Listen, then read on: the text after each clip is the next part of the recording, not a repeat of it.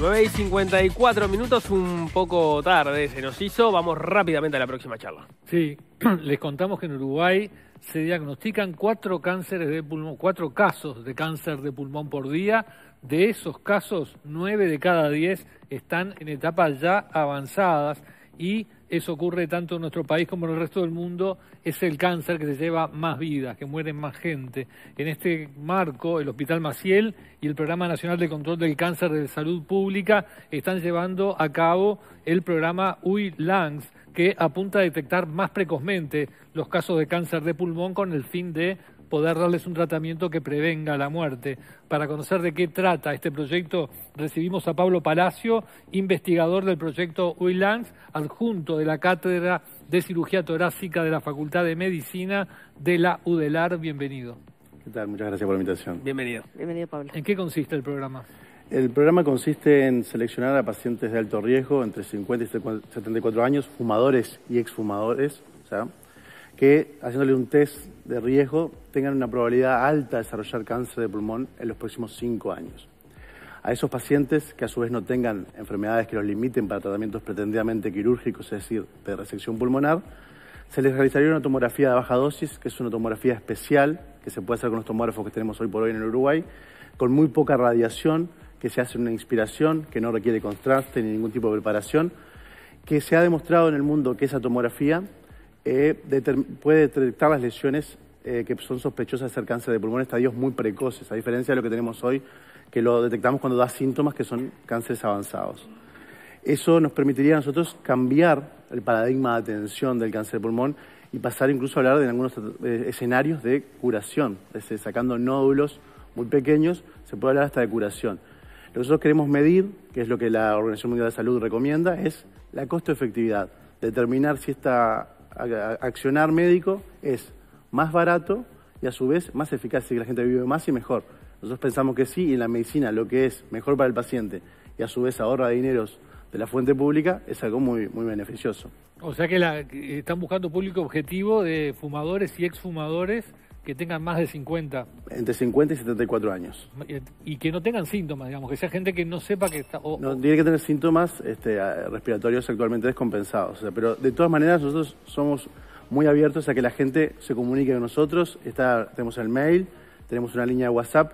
Le pedimos a la gente, sí, que nosotros somos un grupo de colegas que hacemos esto eh, casi de forma voluntaria, o somos un grupo de colegas de facultad, organizados, múltiples especialidades, cirugía de tórax, oncología, neumología, medicina interna, y lo hacemos eh, contestando el WhatsApp cuando, cuando podamos pudiendo, vamos contestando. Entonces no tenemos un call center. Entonces, le pedimos a la gente que todos nos manden el dato y el nombre y nosotros le, vamos, a devolver, le vamos a devolver la, la, consulta. ¿Cómo es el número? Es el 092 944 344, para que lo verifico. bueno, así después lo repetimos. Mientras, mientras lo, lo vamos buscando, eh, 334. 334. Qué señal que, que termina. Eh, ¿Cuánto tiempo podemos ganar en, en, una detección precoz en relación al tiempo que demora en evolucionar? No, es un cambio totalmente en, el tratamiento, porque si tú eh, lo tratas cuando es un nódulo, incluso puedes hacer cirugía y que no requiera tratamiento adyuvante, es que no requiera quimioterapia o tratamientos eh, costosos después y que cambian la calidad de vida del paciente. Imagínate tener que ahorrarte una quimioterapia. Es muy parecido a lo que sucede con la mama. O sea, tú tratás la lesión precoz y a veces no tenés que hacer más procedimientos más que controles en la evolución. Entonces, es un impacto muy fuerte, ¿no? Y hoy, hoy 9 de cada 10 cánceres de pulmón son cánceres de pulmón avanzados. ¿Y por qué ocurre eso? ¿Porque la enfermedad se manifiesta recién ya cuando está avanzada? Claro, la enfermedad lamentablemente da síntomas cuando, son, cuando está muy avanzada, da síntomas como la falta de aire, la tos, la expectoración hemática, la hemoptisis, que es la salida de sangre por la vía aérea. Esos son síntomas muy tardíos. ¿Y cuánto tiempo pasó desde que la enfermedad empezó a desarrollarse hasta ese momento? Bueno, habitualmente pasó entre uno a tres años. Entre uno a tres años. Eh, ahí es donde ustedes están apuntando ahora. Que claro, el score de riesgo predice que tú tienes, si te predice que tú tienes una probabilidad alta de desarrollar cáncer de pulmón, nosotros vamos a hacer tomografías en los tres primeros años, que son donde tenés la más chance de desarrollarlo, y te vamos a seguir clínicamente durante cinco.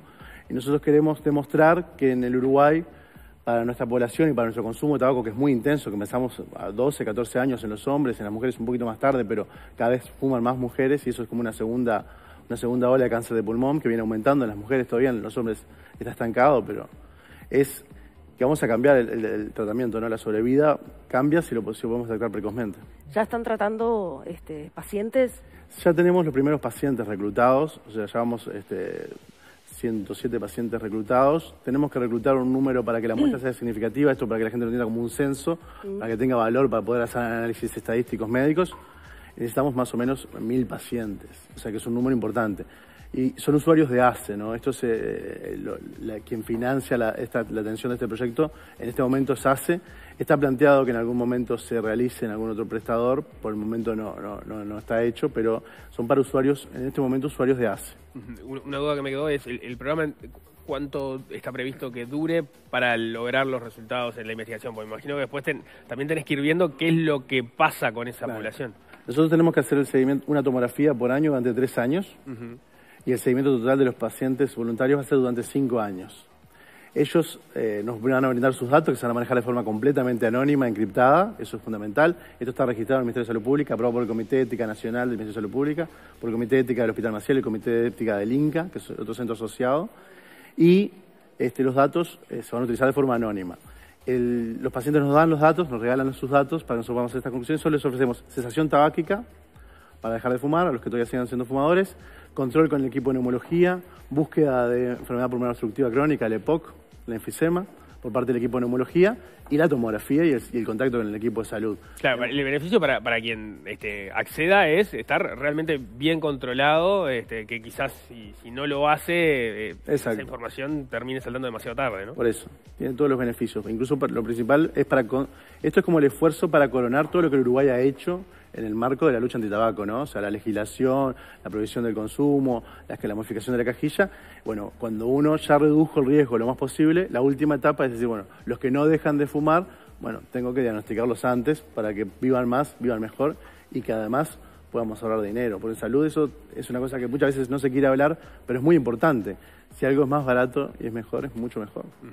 Notable, recién estaba el teléfono en el, en el zócalo de, de la pantalla, la gente lo notó, estaba el mail también, así que bueno, todos podrán dirigirse y esperemos que lleguen a los mil voluntarios. Pablo Palacio, muchas gracias. Muchas gracias a ustedes. Muchas gracias. Nosotros nos vamos.